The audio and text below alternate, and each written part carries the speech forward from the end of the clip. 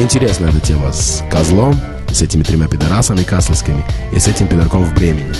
Вот. Я сюда приехал немного другим человеком. Поэтому, если есть желание, Рома это гарантирует. Мы можем встретиться в Ульме. Рома проследит за тем, что это будет баш на баш. Я готов встретиться с Каслевским, трио пидорасов. Я готов встретиться с Коблинским хуесосом.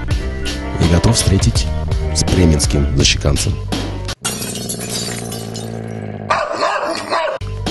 Если вы хотите со мной встретиться, обращайтесь к нам. Мы устроим все без камер. Мы не долбоебы, как Рома Жиг.